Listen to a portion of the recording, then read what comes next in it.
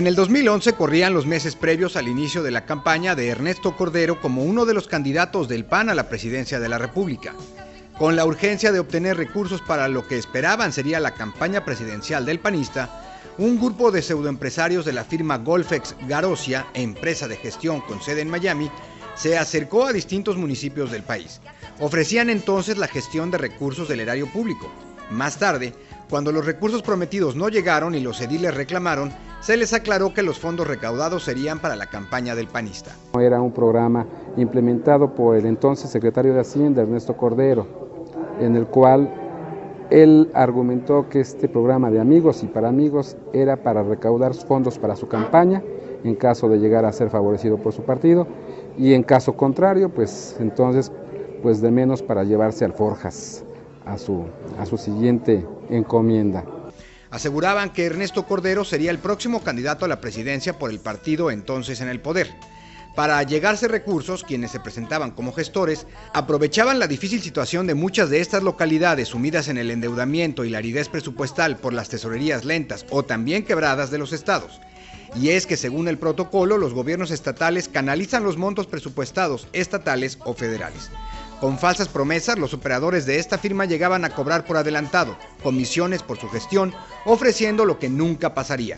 Ni siquiera gestionaban. Ellos siempre argumentaron, son recursos federales, extraordinarios para obra pública a fondo perdido y te van a llegar.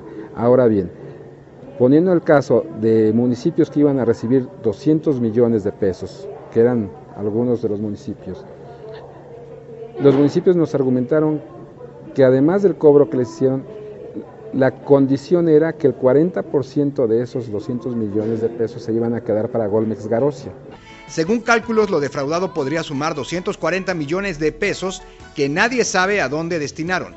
La empresa estaba representada por Carlos Peniche Peniche, César Cerda Rodríguez, Guautemoc Marrufo y Raúl Cancino, quienes con ese atractivo ofrecimiento iniciaron la operación Recolecta se entrevistaron con muchos funcionarios locales a quienes garantizaron inclusive recursos federales extraordinarios para obra pública a fondo perdido que según decían no aparecen en el presupuesto de egresos de la tesorería de la federación. Raúl Cancino falsificando documentos, involucrando personas, contactaba incluso a constructoras a las que les prometía agregarlos a un padrón para darles obra pública en los municipios. Así, según entrevista a Miguel Ángel Bautista grabada por Reporte Índigo, peinaron 1.200 municipios de la República Mexicana.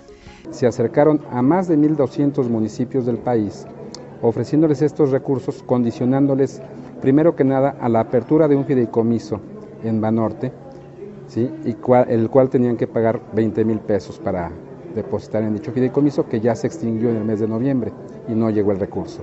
Llegaron inclusive con los que no eran afines al PAN, a donde según les dijeron después, iría a parar el dinero que los alcaldes depositaron y los convirtió en víctimas de un fraude.